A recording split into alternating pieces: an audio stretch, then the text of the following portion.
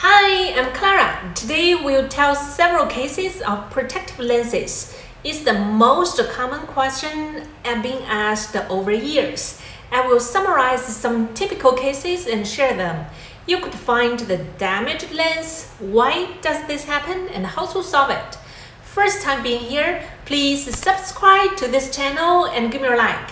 You could find all videos on my channel could be helpful for you. Let's get started.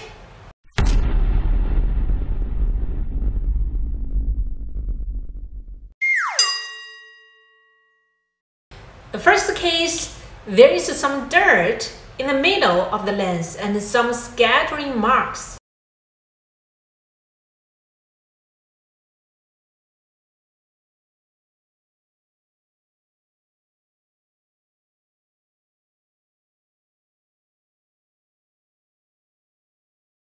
Such lenses usually occur during air cutting. When the compressed air is not very pure, we need to check the dryer of air compressor is exhaust time setting and exhaust interval setting.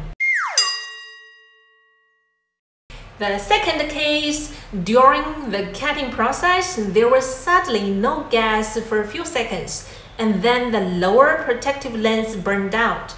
This requires checking the gas circuit, such as whether the solenoid valve is properly controlled, whether the relay has voltage, and whether the plug is firmly connected.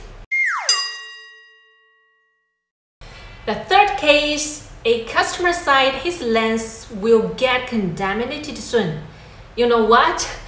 When I was asked the questions, most of them were ambiguous without any preface or explanation.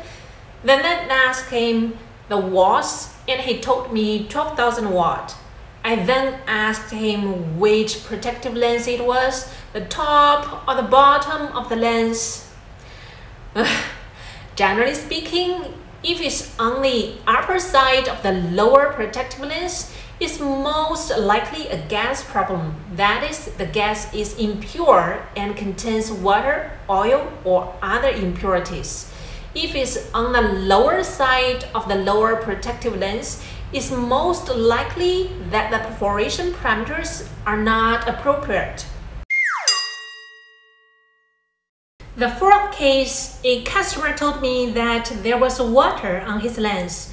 If it's compressed air cutting, we need to check the dryer or water vapor separator. If it's not a gas problem, then it may be that the humidity in the environment is relatively high. Add a dehumidifier to say. The fifth case, check this picture.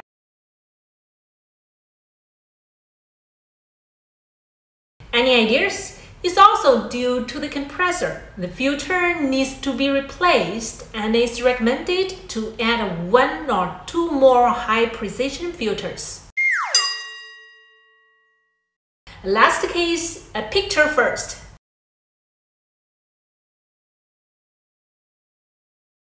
The inner circle is a layer of oil. It's still due to the gas. It's recommended to replace the oil-water separator of the air compressor and replace the filters.